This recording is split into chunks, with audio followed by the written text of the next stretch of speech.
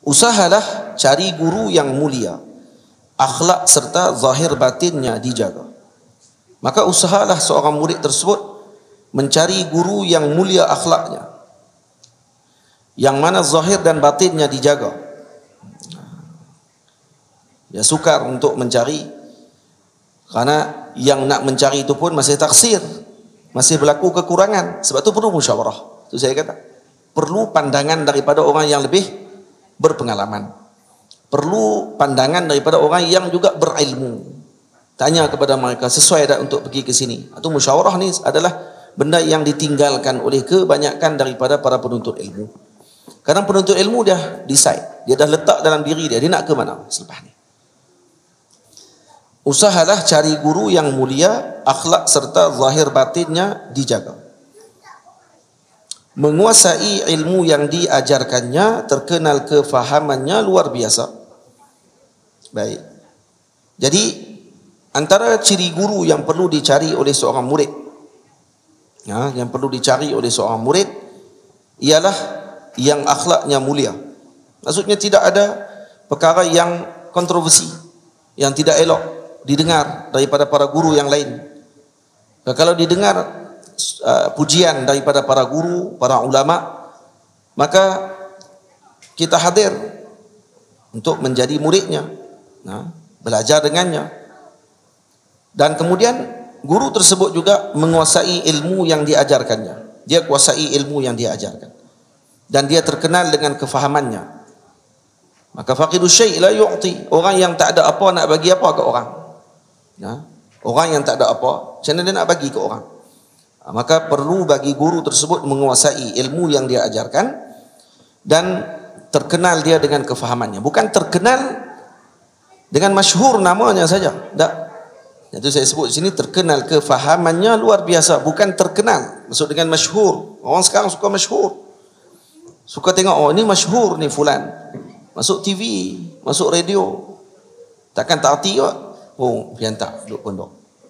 Buka pondok Tak, bukan tu maksud masyhur di sini. Masyhur di sini maksudnya terkenal di kalangan para ulama dengan kefahamannya.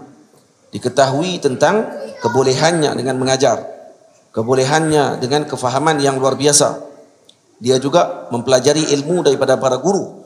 Maksudnya sanaknya bertitih sampai kepada Nabi kita Muhammad sallallahu alaihi wa alihi wasallam.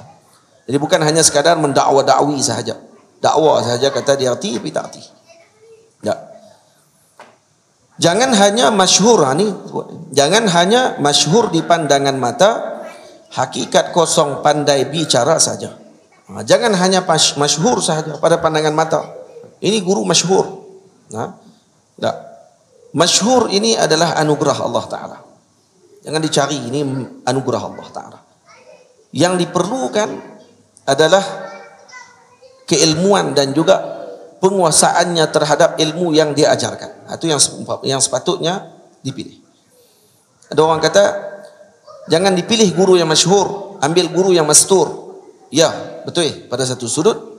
Tapi kalau begitu nanti akan dinafikan hak guru yang masyhur dan dia alim. Ah, ada yang masyhur dan dia alim. Dia alim dan masyhur. Ada alim yang mastur.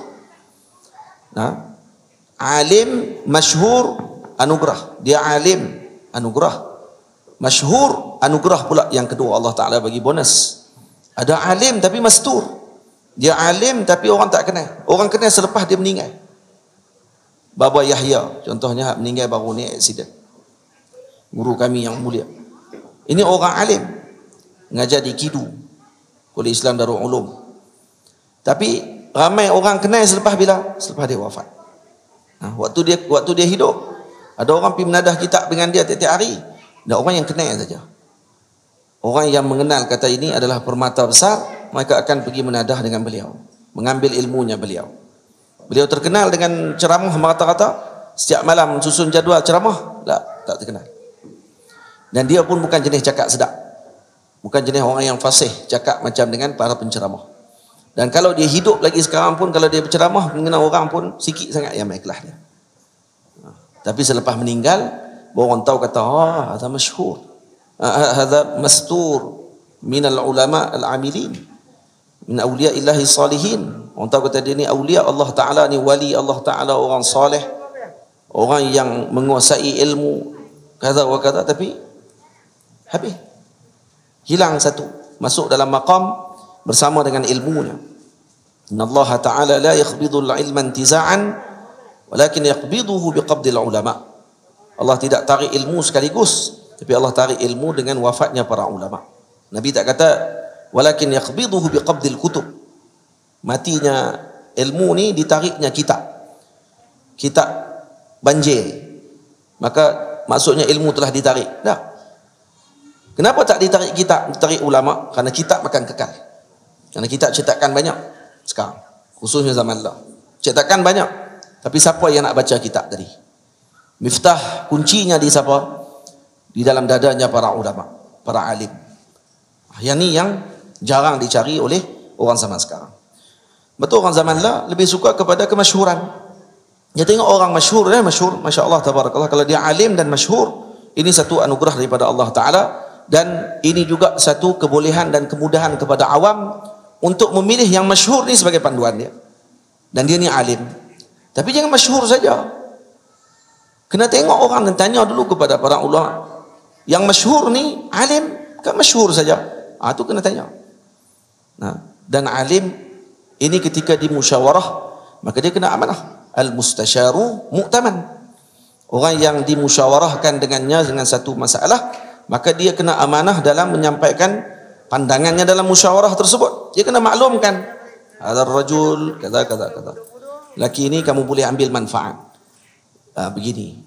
Ha, kalau kata ni dak lelaki ini orang fulan ini ini masyhur orangnya pandai bercakap kata-kata tapi dia tidak menguasai sebenarnya. Kena muktaman. Dan itu adakah termasuk mengumpat yang diharamkan? Lah, itu mengumpat yang diharuskan. Diharuskan. Bukan sunat, harus. Maksudnya diharuskan baginya untuk dia memaklumkan perkara tersebut agar orang tidak tertipu nanti dengan dengan mazharnya, dengan pandangan zahir seorang tersebut semata-mata seakan menganggap kata ini adalah orang yang benar kuasai ilmu.